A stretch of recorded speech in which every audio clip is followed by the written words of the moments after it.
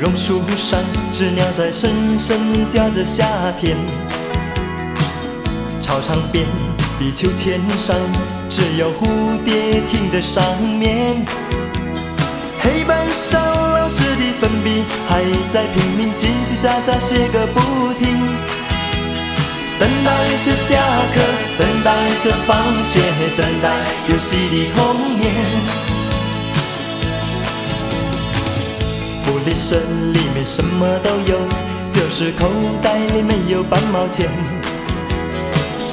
诸葛侍郎和魔鬼党，到底谁抢到那支宝剑？隔壁班的那个女孩，怎么还没经过我的窗前？嘴里的零食，手里的漫画，心里初恋的童年。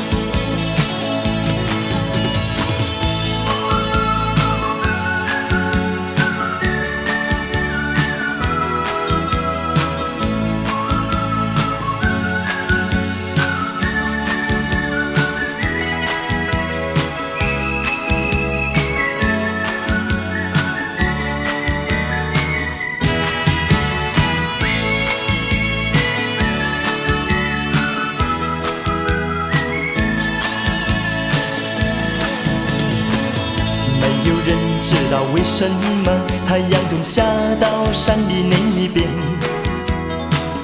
没有人能够告诉我，山里面有没有住着神仙？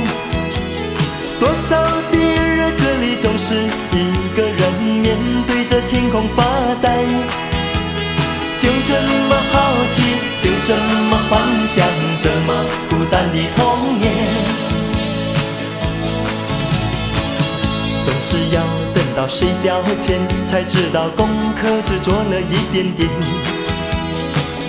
总是要等到考试以后才知道该念的书都没有念。夜春光阴夜春景，老师说过寸金难买寸光阴。